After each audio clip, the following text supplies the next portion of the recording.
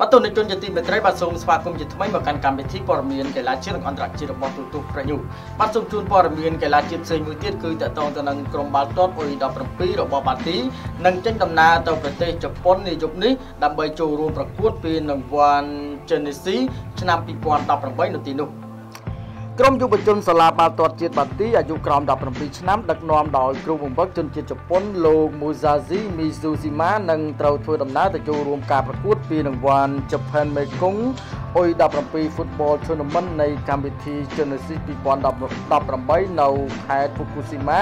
ប្រទេសជប៉ុននៅថ្ងៃទី5ដល់ថ្ងៃទី8ខែតុលាខាងមុខនេះបើតាមការបញ្ជាក់របស់មន្ត្រីសហព័ន្ធកីឡាបាល់ទាត់កម្ពុជា IFFC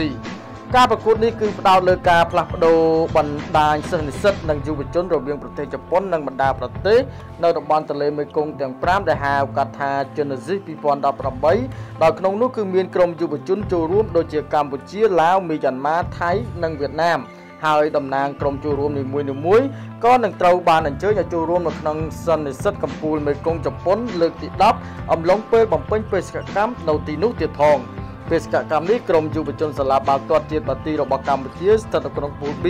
ជាមួយនឹងក្រុមយុវជនមីយ៉ាន់ម៉ាវៀតណាម និងក្រុមម្ចាស់ផ្ទះជប៉ុន មួយក្រុមគណៈប្រកួតបាល់ឆាកកម្ពុជាត្រូវជួបម្ចាស់ផ្ទះជប៉ុនមុនគេនៅថ្ងៃទី5ខែតុលាខាងមុខនេះរីឯពូល A គឺមាន5ក្រុមដូចជាក្រុម Sushi High School ក្រុមបាល់ម៉ក្រុមយុវជនឡាវនិងក្រុមយុវជនរបស់ថៃ។